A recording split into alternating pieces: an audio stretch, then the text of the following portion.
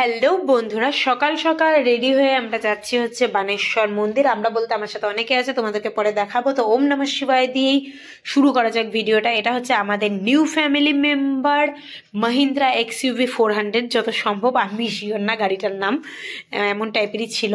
তো পুচুদা হচ্ছে হালকা মোছামুছি করছে কারণ গাড়ি কিনছে আমাদের তাও মোটামুটি হলো এক মাস হবে হয়তো বা আহ, তো আমাদের গাড়িটা পূজা দেওয়া হয়ে ওঠেনি, সবার এত বিজি শিডিউল থাকে, যার জন্য আমরা আজকে ফাইনালি সময় পাইছি আজকের দিনটাও ভালো ছিল, সোমবার ছিল, তো আমরা যাচ্ছি। আর রাস্তায় যেতে যেতে দেখি অনেক হিমঘরে ঢোকানোর জন্য আলুর গাড়ি।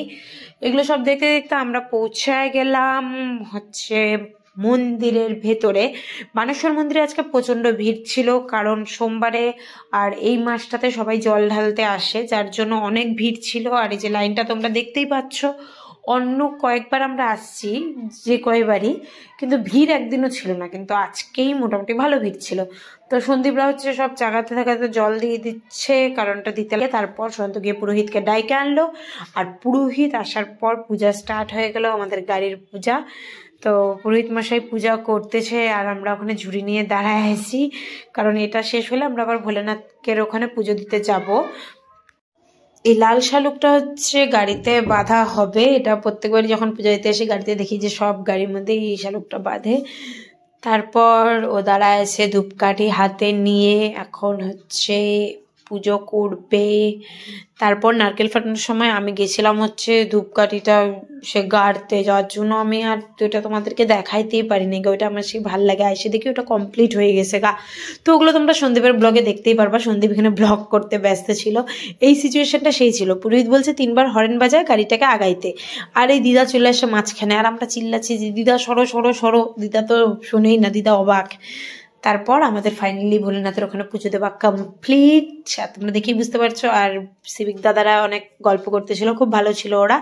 আর এই যে এখন পুরোহিত মাসেরা আমাদেরকে দিছে প্রসাদ। এখন আমরা অন্য প্রসাদ খাব।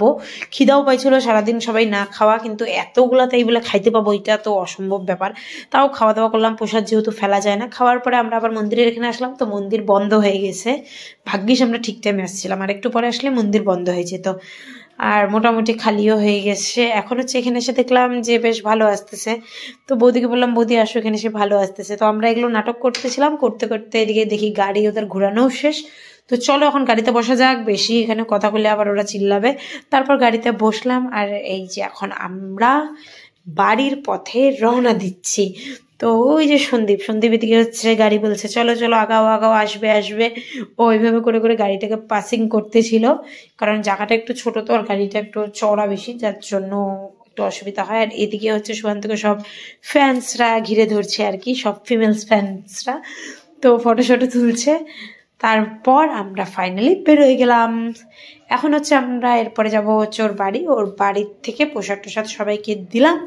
দেওয়ার পরে তারপর আমার আবার তো ডিউটি আছে জানোই, তো আমরা যে বেরোয় গেছি, আজকে ফার্স্ট টাইম নিউ গাড়িতে ফ্রন্ট সিটে বসছি। যার জন্য খুব ভালো লাগছিল, আমি বললাম একটা স্মৃতি হয়ে যাবে, একটু পোজ দাও। তো পোজ দিল। তো চলো টাটা, আবার নেক্সট ব্লগে অনেক কথা হবে। টাটা, কেমন লাগল?